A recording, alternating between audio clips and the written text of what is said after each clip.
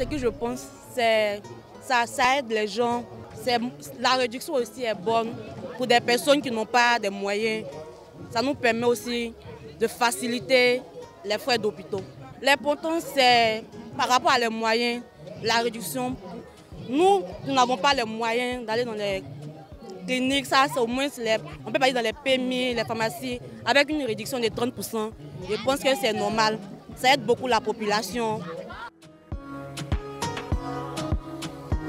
Suis très content et ce soir, pour voir un ministre de l'Emploi et de la Protection sociale venir à pourront venir sensibiliser euh, à les travailleurs pour venir faire la SEMI.